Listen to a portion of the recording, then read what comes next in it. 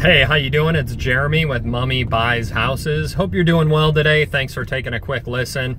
Just wanted to let you know that we buy houses in Turtle Creek and all the surrounding areas. Uh, Pitcairn, Wilmerding, Wall, anywhere over there. Give us a call. Uh, you might be selling for many reasons. Maybe you're a landlord. Maybe your folks have moved out of the house. Maybe the house needs a bunch of work. You know, whatever the case is, like feel free, reach out to us. All of our information will be down below. So you can visit our website or call us. We'll love to hear from you. And thanks for taking a quick listen. See you later.